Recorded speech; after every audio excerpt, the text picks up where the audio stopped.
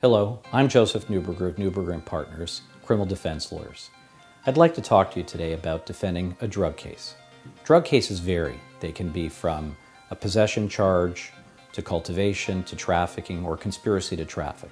At Neuberger & Partners, we have years and years and years of experience vigorously defending clients. I myself started practice in 1993 and have dedicated my practice to defending the rights of individuals charged with offenses, including those that are drug related.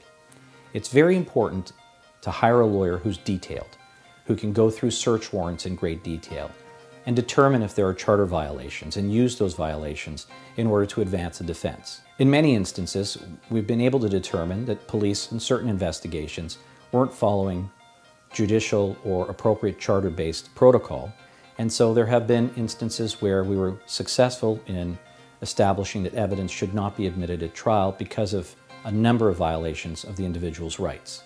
Regardless of being charged with this type of offense, it's extremely important in a democratic society that your rights get protected, that you have access to experienced, skilled counsel who's developed talents over 20 some odd years in defending people.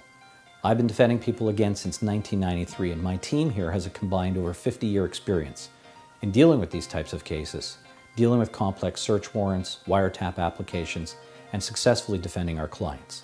It's important, if you're facing something so serious, that you retain a law firm that can provide you the infrastructure, skill, and experience to defend you.